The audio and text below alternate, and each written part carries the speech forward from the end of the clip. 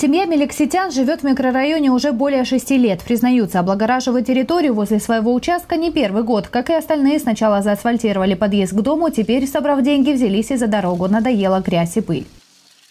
Люди потихоньку строятся, а дороги как не было, так и нет. Отдыхающие приезжают, гости летом приезжают, идут к речке, хотят гулять, отдыхать, а пройти было невозможно, проехать тоже. Поэтому решили взяться своими силами и с помощью депутатов решили сделать дорогу, чтобы было удобно и нам, и приятно нашим гостям города. Председатель Лазаревской территориально-депутатской группы Владимир Левшин рассказал, что эта проблема наболевшая. Решали ее в течение нескольких лет. Сначала проложили дорогу на соседних улицах, теперь очередь дошла до улицы Тормахова. Ранее был проект, ранее был проект, он устарел, потерял свою актуальность.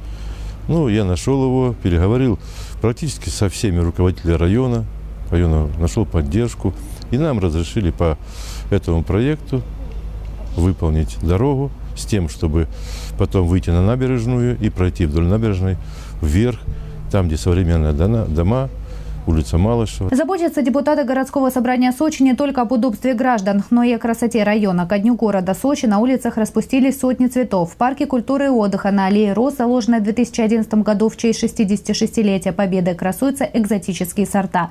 Благоухающий Техас и величественная Эйфелевая башня. Это подарки парку от местного селекционера при содействии депутатской группы. Изобилуют различными видами цветов и клумбы на улице Пугачева. Несколько лет назад на этом месте была свалка. Совместными усилиями депутатов и администрации ее ликвидировали, и Александра Мещерякова разбила цветник. В нем более ста растений. К ним женщина относится как к собственным детям. Четыре года я приходилось мне таскать воду самой, поливать весь все участки, все саженцы.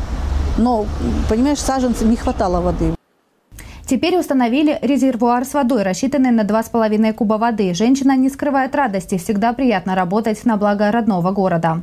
И эта процедура длилась не менее двух месяцев, потому что просто поставить емкость нельзя. Но я обращался к заму по коммуналке, он посылал человека, он выходил на место, потом с архитектором, и смотрели, где можно установить. Этих двух кубов за глаза хватит. Теплая вода.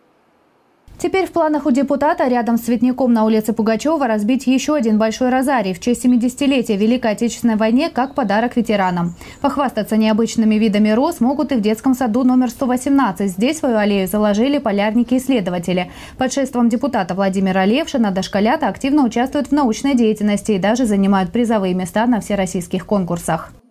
В этом году у нас еще одна замечательная юная исследовательница выявилась. Это у нас э, Лютова Ольга.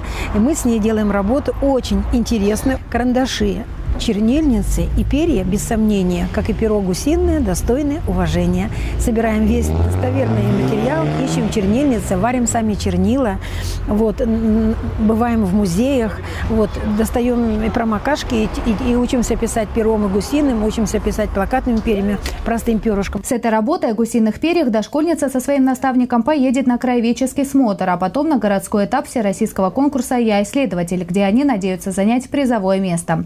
Работа Работа по озеленению Лазаревского района продолжится. Татьяна Нагорская, телекомпания «ФКТ».